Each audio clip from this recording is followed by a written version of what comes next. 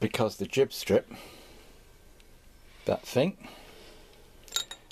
clearly needs to be in place at the time that we slide this down the column. See how far Let's we get the column on.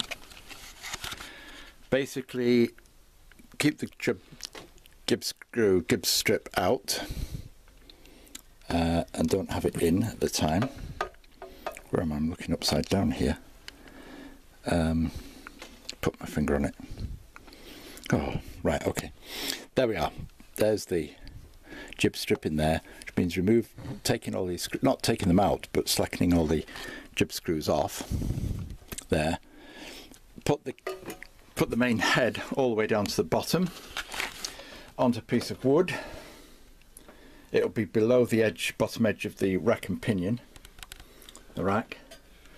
Then you can drop the jib strip in down there, uh, and then tighten up the screws until it just begins to grip.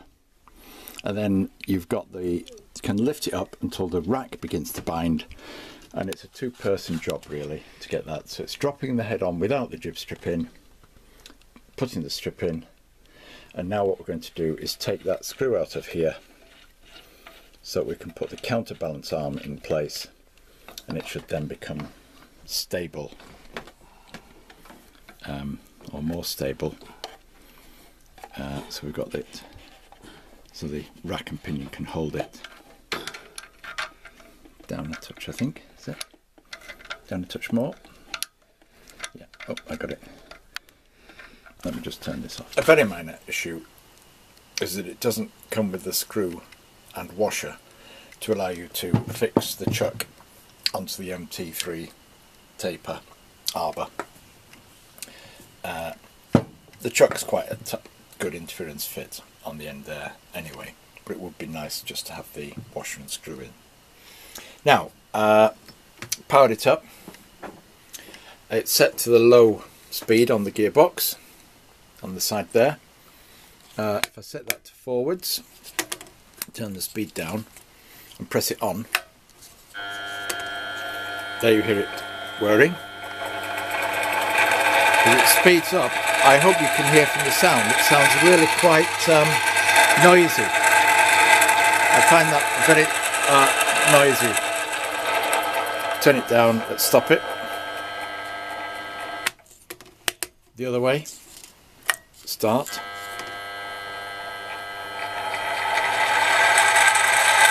Uh, also noisy.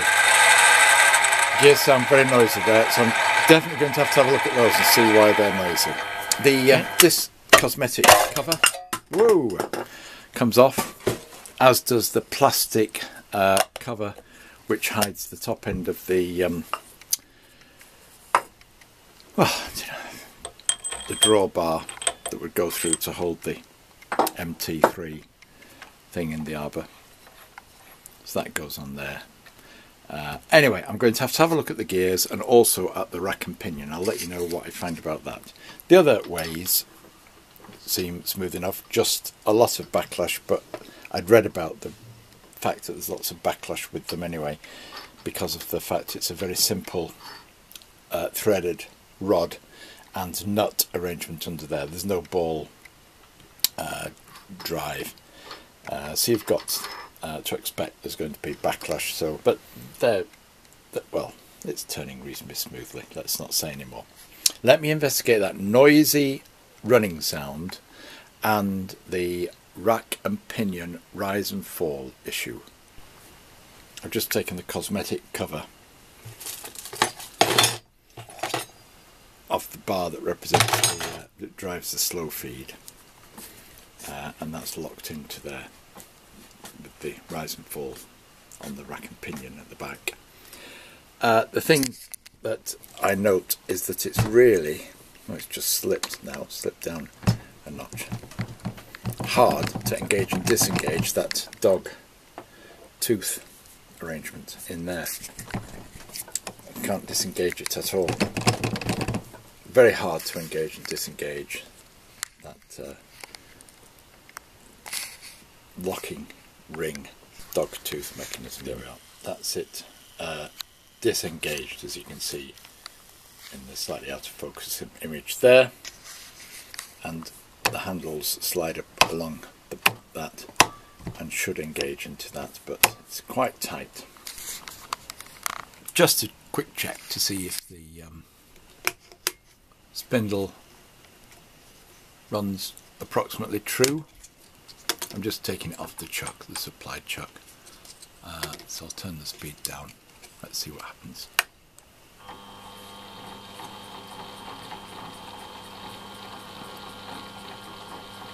Right, on the chuck you can see there a wobble of about, well it's a few thou isn't it on there.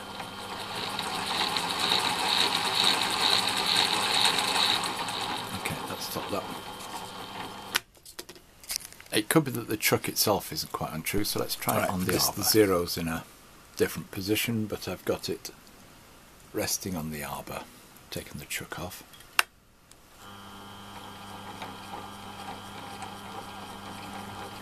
That's much better in terms of the variation there. Don't know how to um, show that, but it's. Oh, I'll tell you what.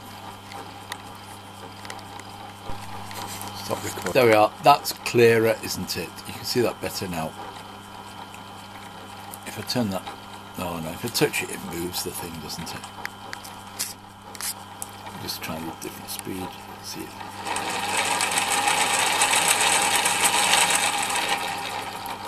So I can work out how much that is at some stage uh, afterwards, but it's about one division of the micrometer. Yep, the black scale. I don't suppose there'll be any difference. Set it into reverse, will there?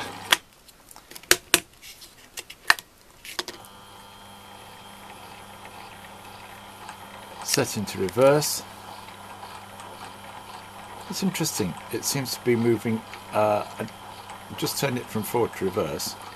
Still about one division. Seems to have moved over. Maybe it's just because I moved the machine. Uh, you keep watching while I change this. Stop. Move the machine there. I think I might have moved the machine a bit. It does seem to be slightly different forward and reverse. Yep, seems to be about half a division difference between the position forward to reverse. So if I stop it,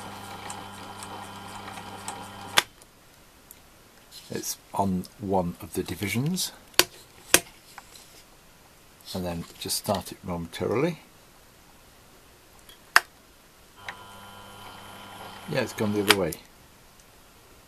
Okay. One of the things it's suggested you do in the manual is uh, raise the motor to the highest height when not in use. Well, that's going down. This is going up. And now the problem is it's completely missing it. It's completely not turning at all. So I can turn this. I don't want to turn it anymore because presumably if it's just missing the teeth, it's grinding away at the teeth on the rack. Now there's the gap at this level between the uh, rack and the casting. If I take it down, it still sounds very bumpy. Does the rack? No, that gap doesn't seem to get any less, and I think I've gone off the end of the rack there, the bottom. That is so notchy coming up. Um, and if I try and slide, rattle the head about, the head is is adjusted, been adjusted very nicely uh, using that jib strip. So it's a reasonable fit on the dovetail. But I really, really don't like that notchiness about the rise on that rack. I really don't like that then it starts to slip there and there's nothing happening. Uh, that's about whatever the measurement is on there. It's barely a third of the way up the column So we've got the gash there and the rack not working there.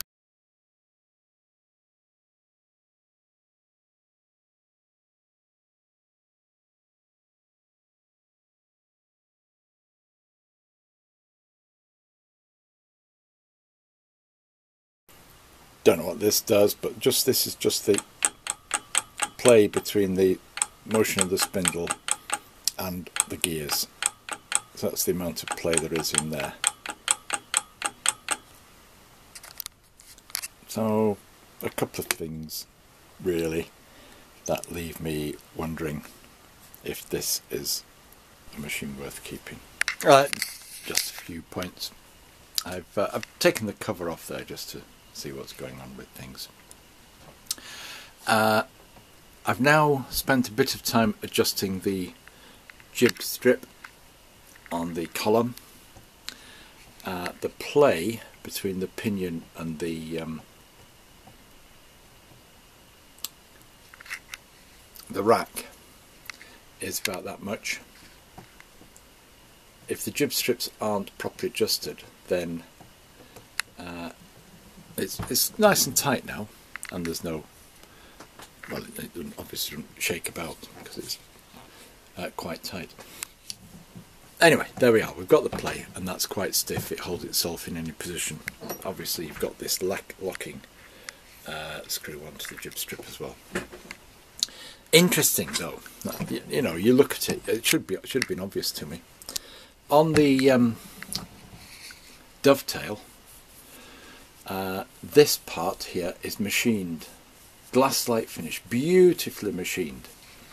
That part is rough, it's really quite coarse. And yet then when you fit the thing and adjust it up, you realise that, and you probably can't see it from here, because I've not got my torch on, if I put the torch on, well at some level, that uh, nothing bears on that surface. Uh, you know, if it was a lathe bed, this, then you would see uh, various parts bearing on there with some support on the dovetail part. But in this, the bearing surface is actually the flat bit at the back. So if I illuminate it, uh, once the jib strip is tightened up, the bearing is on the back. That's, um, I can get my finger in there, hold this in my mouth. Uh -uh. I can't, that's no good. Good grief, people. What am I doing? Yep. So, that is the bearing surface, not that. So this beautifully mirror finish, nicely ground and finished surface isn't touched at all. That surface, which you can hear the scratch, that's the bearing surface that's being used. And the other bearing surface is the inside of the dovetail which again you can see better on this side, is not the smoothest. So it's not bearing on a particularly smooth uh, surface. You can see them there. But there it is, it's nice and tight and it runs up and down. What I don't know is how true it is when it runs up and down. So that's all to be tested. The next thing I'm looking at is the bearing surface. Here we have the uh, the bed, the table for the longitudinal run. And again, the bearing surface is this one and the inside of the dovetail. Uh, that super smooth edge there. Uh, can't just see it. Anyway, uh, these surfaces are quite coarse certainly in comparison to the smooth finish on that one, the relatively smooth finish on that one, and the relatively smooth finish on the top of the dovetail surface here. But um, I'm not quite sure exactly what impact that will have. Now, this is a method recommended in the milling book there's a guy who's written a, a, couple of milling books. They're the only ones in the uh, workshop series, the, the, popular ones. Just can't remember his name at the moment. anyway, so I've weighted a piece of glass onto the um, uh, bed there. I'll get onto the table. Uh, at one point, all right, at that point there it's zero. Yep. It doesn't go below zero, so at one point there it's zero. It rises up as it's going around there. At this point here, it reaches maximum and then it comes down again back to zero when it gets to there. That's fine because what that means is that the column, let's pull it, yeah, the column is leaning slightly uh,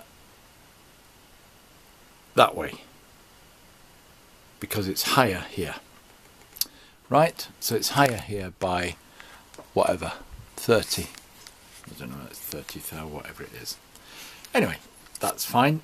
We know these columns need a lot of adjustment to get them into the true vertical position even though it's locked in position so that helps. But the good news is the height here and the height there front and back of this are about the same which means the column is fairly well perpendicular or vertical uh, when in relation to the uh, bed when uh, viewed that way, which I'm quite surprised about really, because all it is is it's just clamped through with a single bolt onto a circular bearing surface at the back down there, and uh, it seems to be that that's fairly uh, well at right angles to this. I've tightened up all the jibs. I don't know what sort of extra strain that's going to put on the nuts, but it just makes everything a lot tighter so there's absolutely no play in the system.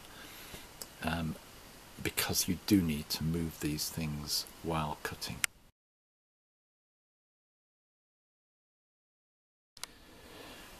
Well, now see what people mean when they talk about setting the column to vertical. Uh, lots of gentle taps on the column. Uh, moves quite readily, uh, but it's this process of splitting the difference in terms of the uh, measurements. Uh, and uh, now, how do I tighten the nut on the back without disturbing its truth, its vertical position? Because I've been here before with other systems and as soon as you start turning something, you start moving something. They don't stay in the same position. Anyway, nothing ventured. Let's have a go.